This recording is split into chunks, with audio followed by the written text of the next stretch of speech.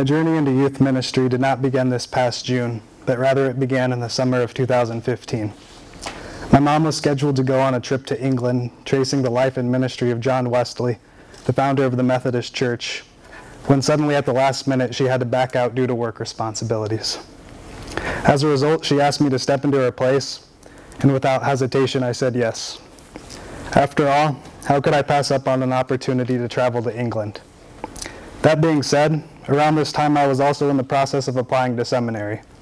And it just so happened that a couple weeks before leaving for the trip, my dad and I attended a church service at our church in which my pastor mentioned toward the end of the service that he would soon be heading off to England with several seminary students and high school youth group students who were considering a call to ministry. I had not previously known that this trip would be made up of people considering ministry.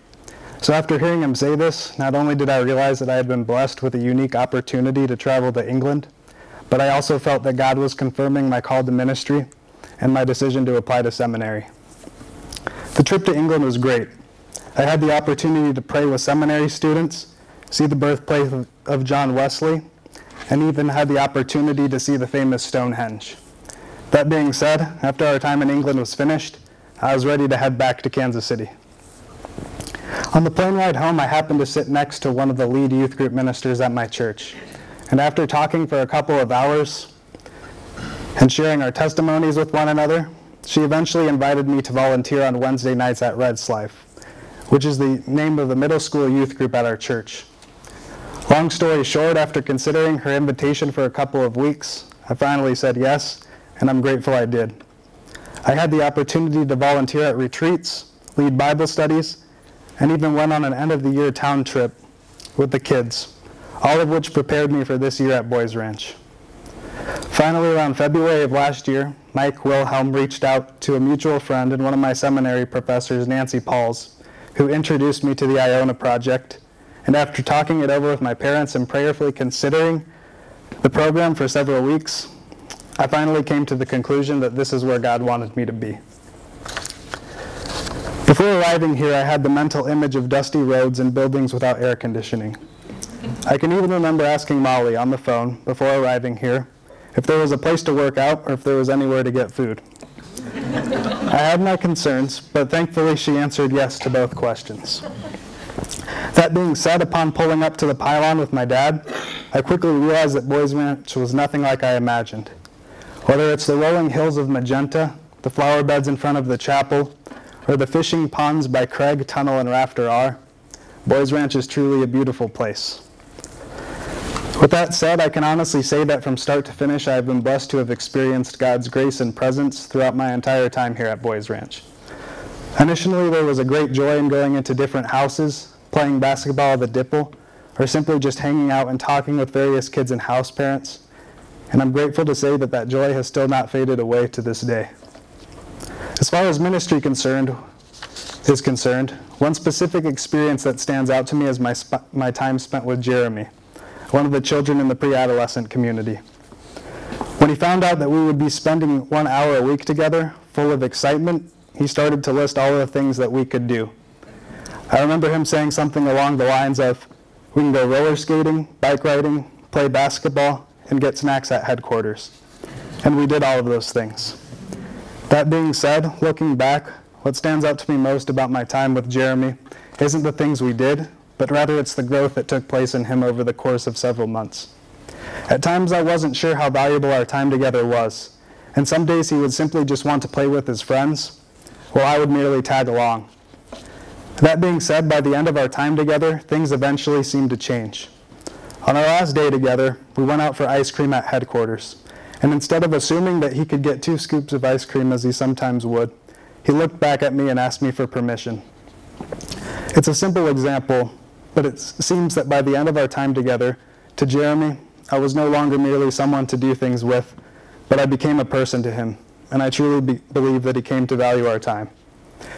Switching gears a bit, as far as community is concerned, I can honestly say that I have been blessed by each of the other five Ionans. Even though we haven't always agreed on everything, I can honestly say that God has been present in our group, and I'm grateful for the several one-on-one conversations that I was able to have with each of you throughout the year, as well as for the patience and grace that each of you demonstrated to me by allowing me the space to grow and to be molded into the person that God is calling me to be. I also want to thank the rest of the chapel staff. Thank you, Mike, Jennifer, Nola, Ray, Mr. O, for the patience and grace that each of you had for me throughout the year. And thank you for letting me dive into your offices unexpectedly with my thoughts, concerns, and ideas, and for your willingness to always listen to, support, and encourage me. As cliche as it sounds, if there's anything that I've learned about God during my time at Boys Ranch, it is that He is faithful. As I mentioned before, I believe that this is where God wanted me to be. And so early on, I realized that if God wants me to be here, He was going to give me the grace and strength and whatever else necessary to complete the ministry tasks here. And looking back, I can honestly say that He has. Whether it's been our weekly devotions, talking at Vine a Radical, preaching a sermon, or taking the kids on a retreat, God has consistently provided me with the grace necessary to get through each day.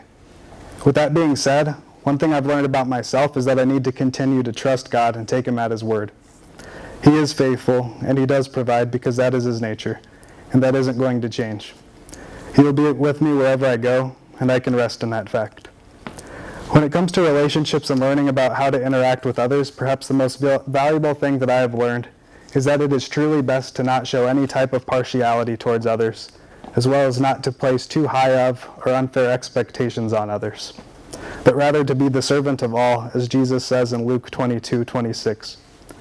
When we are more concerned about meeting the needs of others, rather than constantly worrying about having our own needs met, not only are we more at peace, but we are able to be a blessing to others. Finally, if there is anything that I have learned about ministry, it is that it is not possible without consistently being in prayer.